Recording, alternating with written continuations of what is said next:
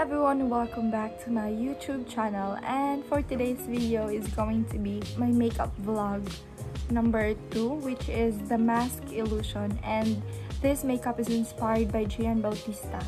And if you're new to my channel please don't forget to subscribe. Without further ado without further chica let's get into the video. So kakatapos ko lang mag-moisturize ng aking face. And after the moisturizer grab your loose powder or your final powder.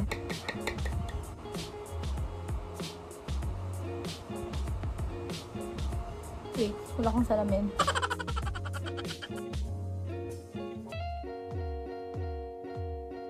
And i-apply nyo sa buong face nyo. So, sa my previous vlog ko dati, hindi ganito yung process. Pero, I just found out na mas nice kung maglalagay muna ng final powder before the foundation. Don't worry guys, hindi kayo ganun kaputi. Hindi kayo ganito kaputi. Hindi kayo parang multo. It's just that brush off after you you apply. And let's proceed to the foundation. Then I am using this foundation from Maybelline Fit Me Poreless in the shade 222 True Beige. Talagay lang tayo dito. Ooh! And then, kumuha kayo ng beauty blender nyo and any brand as long as beauty blender. See? Mas maganda talaga yung application ng foundation if final powder muna yung flawless talaga yung foundation namin. Actually, nakita ko lang to sa TikTok. And it works. And I'm so happy. so, if gumagamit kayo ng beauty blender, wag nyo, like, no. Dab lang talaga. Dab, dab, dab, dab, dab, dab, dab, dab. Mas nice talaga gamitin yung beauty blender kaysa sa brush because for me lang, mas even, mas even yung application. And after the foundation, since we are doing the mask illusion makeup, so small brush and then the contour stick.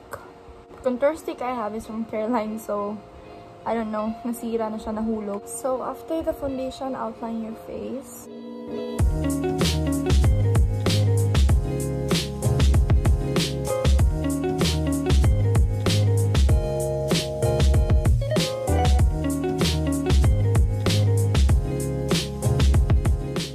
don't know if I'm doing it right because wala akong tinitingnan na picture.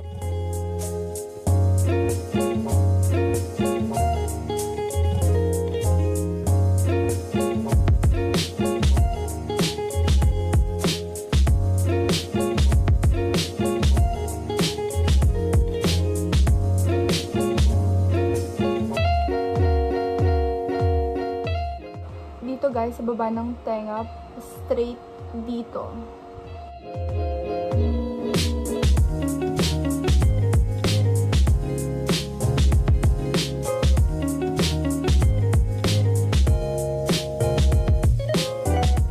So, after outlining, um, kumuha kayo ng cotton pad or wipes or anything na ginagamit nyo pang remove ng makeup nyo. Because ang gagawin natin next is, we'll remove the foundation.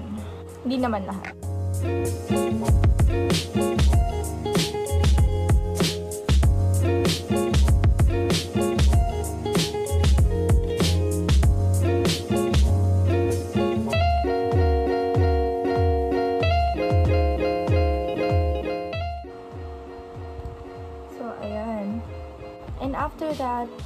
ng black eyeshadow at ilalagay natin dito at saka dito. The reason bakit inuna ko yung black kasi para walang fallout dito ng mga black or something.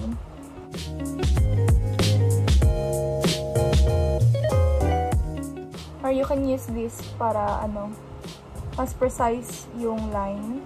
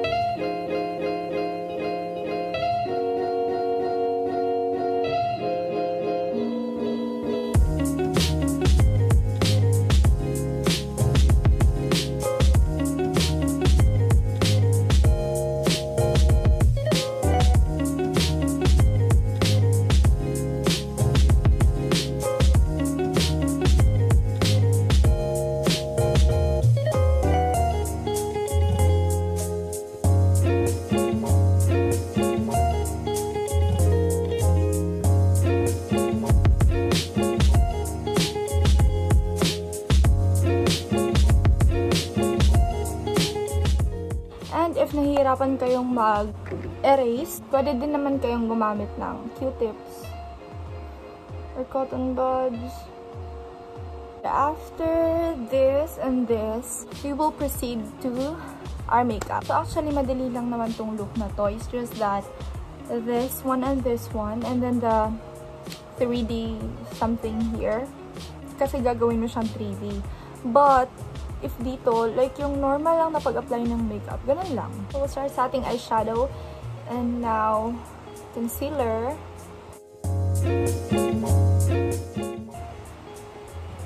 And wala na naman lighting na maganda because maulan talaga sa Palamalak. So, importante talaga na mag-apply kayo ng concealer or eye primer before kayo mag-proceed sa inyong eyeshadow because if hindi kayo naglagay, hindi niya siya mabablend ng maayos. So, after the concealer, I'm gonna use this this orange. By the way, guys, igdagan niyo pang black dito para mas talagang hindi halata na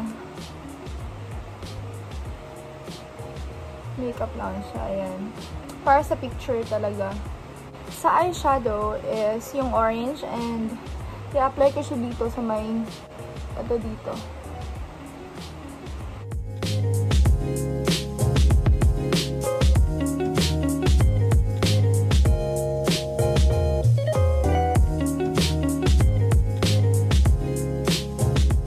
After you blend, proceed kayo sa pangalawang color.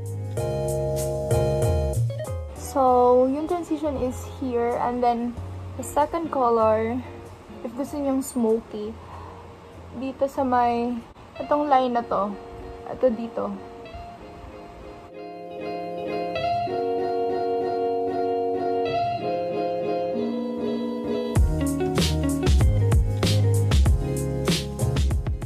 So, if magbe-blend kayo, kumuha kayo ng konting transition color nyo and then blend it out.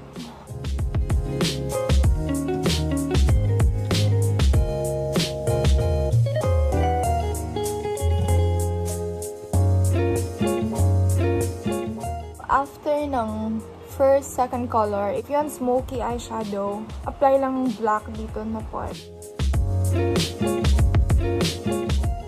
And then, i-blend mo lang.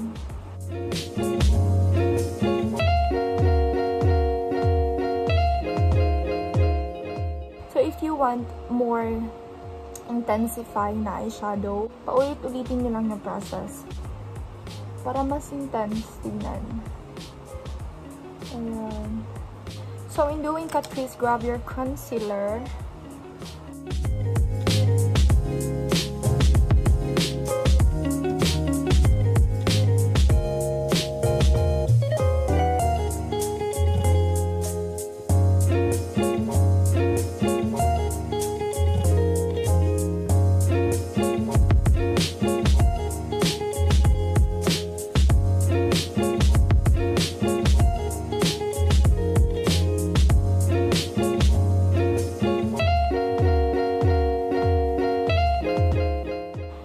Can see, hanggang dito lang yung cut crease sa gitna. And after doing cut crease, maglalagay na naman tayo ng itong second color na ginamit. And apply it here sa gitna.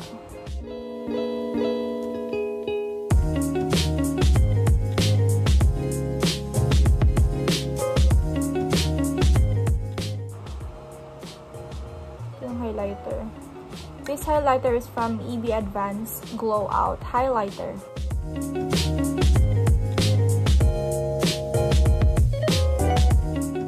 After niyo yung eyeshadow is kukuha kayo ng highlighter and then apply it to your inner corner. Here.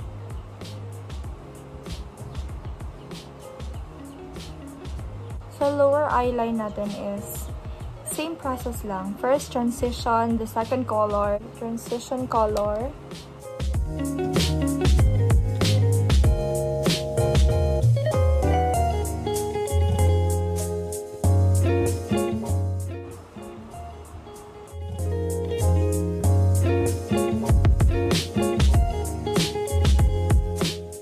And then, balik kayo sa transition. Yung orange. Lastly, ito, dito sa inner, ano,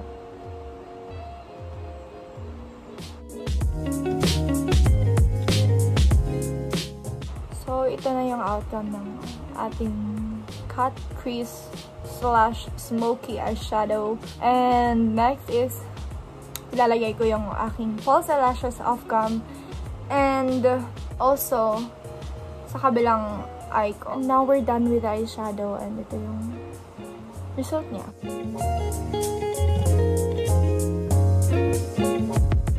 Proceed tayo sa kilay. And I'm using this Face Shop eyebrow pencil. And guys, sinapaspasan ang makeup karon kay nawala na ning lighting. And sa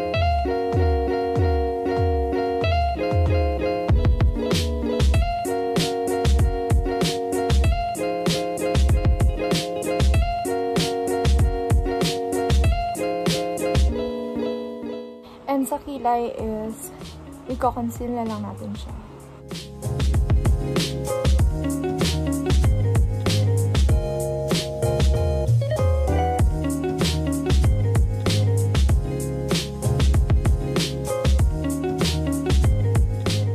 And then blend out the concealer.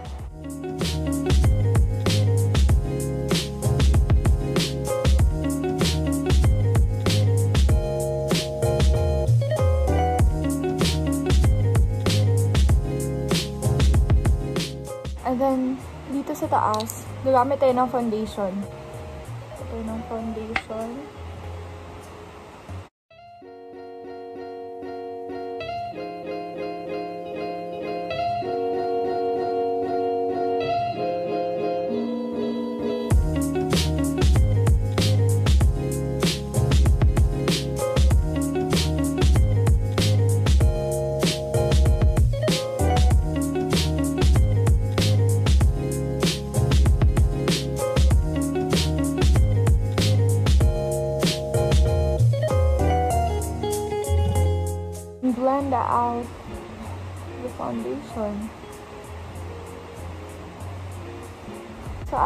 After the kilay, the eyeshadow and the kilay, proceed to the contour. So ang dilim na talaga guys. Need ko na talaga ng ewan ko ba. So grab your contour stick and then gumawa ka ng line dito sa may cheekbone mo, dito sa may dito sa may ear mo. Like that. And then,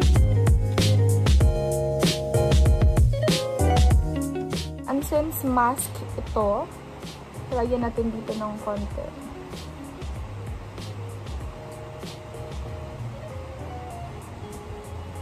Ayan. And then blend out lang.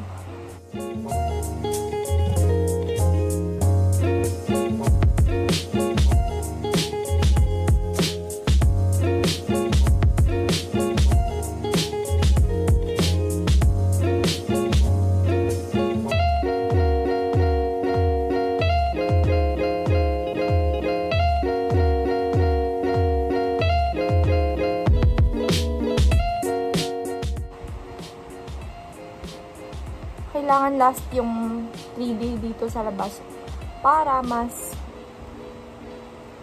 para mas precise yung makeup mo or yung mask mo. And then after is the concealer. after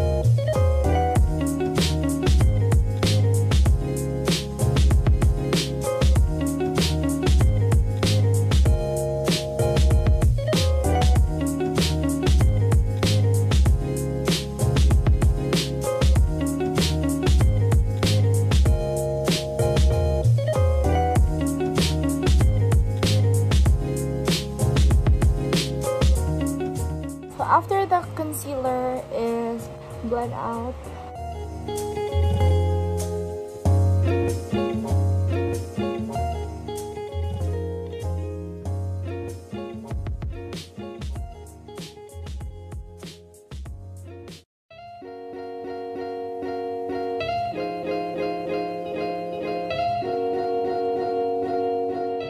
And after blending out the concealer, mag-contour na naman tayo using powder compact na pang contour. Gamitin ko.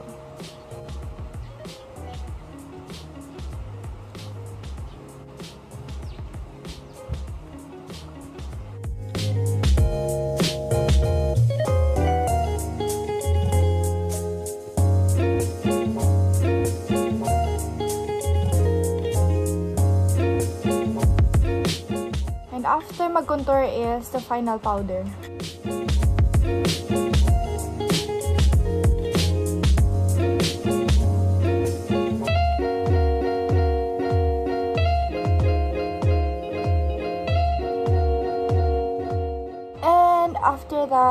Um, brush off.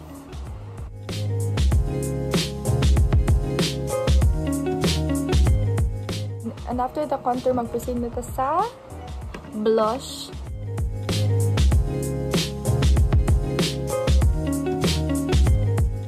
And after the blush is highlighter na to guys. Last part. I mean, lipstick na yung last part. So, sa highlighter, mga siya akong gamiton yung brush.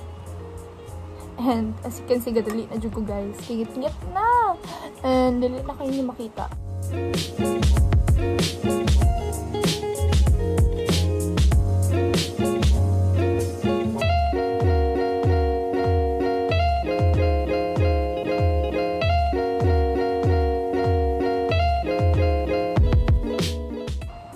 makeup remover and wipes.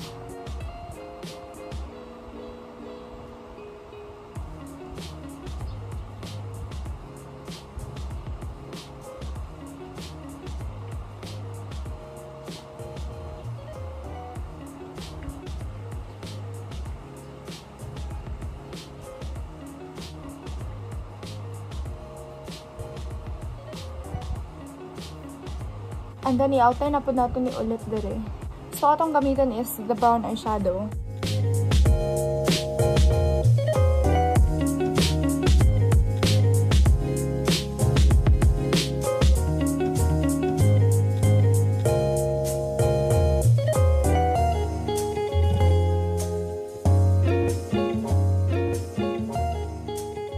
After niyo mag-outline, blend out lang niyo.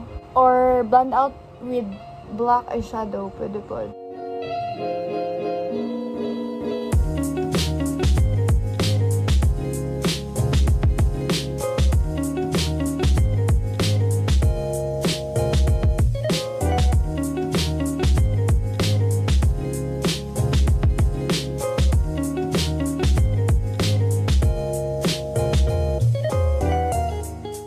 After niyong mag-outline ng black, As you can see, medyo hindi pa siya maayos tignan. So, light brown na eyeshadow para mukhang 3D na siya. after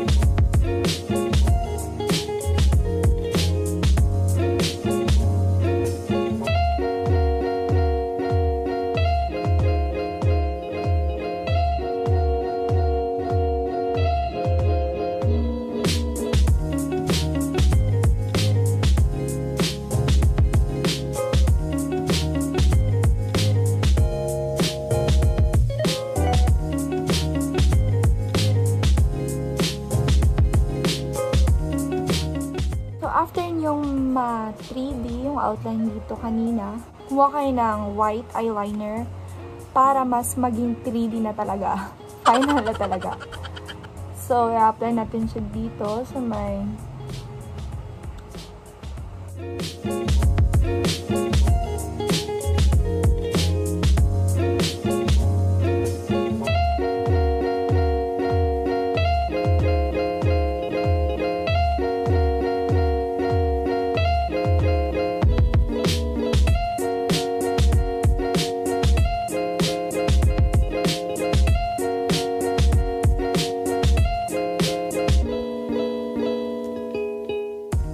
then after the white eyeliner, after the 3D thing in your mask, the lipstick, of course. So, nakalimutan ko maglagay ng highlighter dito. So, lalagyan lang muna natin. Contour your lips.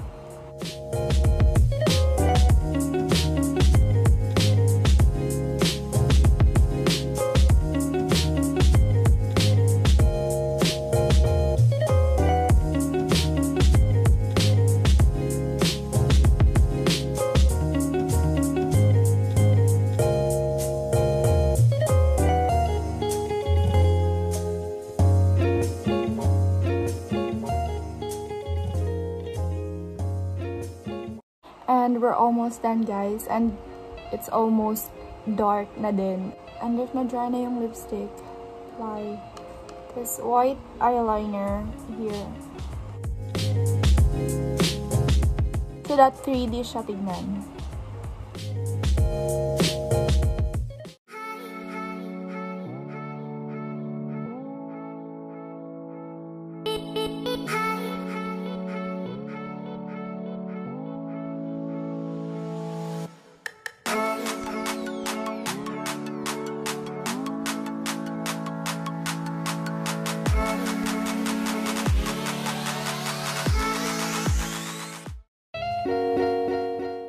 This is it guys. I'm done with my look. And pasensya, dito mo sa lighting, no? Because sa patay ring light, you know. And, vlog lang ko sa may bintana. So, if mag-dark na ang gawas or mga 6 na. So, wala na. Di na ako, di na ako vlog tarong. So, I think that's it for today's vlog. I hope you like and enjoy this video.